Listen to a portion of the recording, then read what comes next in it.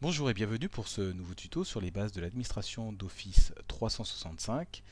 Nous allons aborder la partie Skype Entreprise. Quel est le programme de ce tuto? Nous allons tout d'abord faire une présentation de Skype Entreprise pour savoir ce que l'on peut faire avec cet outil. Ensuite, je vais vous présenter le centre d'administration Skype Entreprise. Et nous allons voir les différentes fonctionnalités possibles de Skype.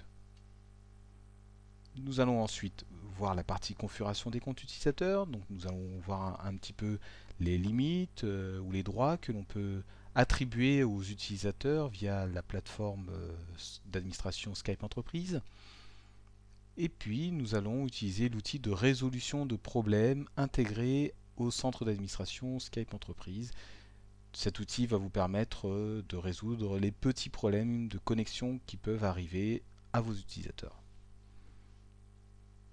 à qui se destine ce tuto Tout d'abord, un public euh, que je dirais technique, qui peut être technicien, administrateur, ou d'une manière générale, une personne qui va s'occuper des comptes euh, Office 365 et de l'installation logicielle.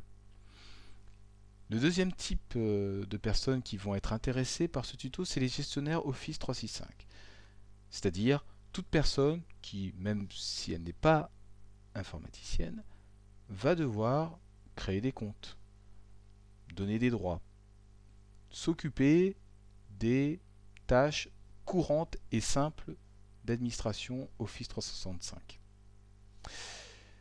C'est pour ça que au niveau des connaissances de base, euh, il vaut mieux avoir des connaissances d'administration Windows, au moins savoir créer un compte utilisateur et idéalement connaître le fonctionnement d'Active Directory ou d'avoir suivi le premier tuto de cette série sur la gestion des comptes utilisateurs dans Office 365.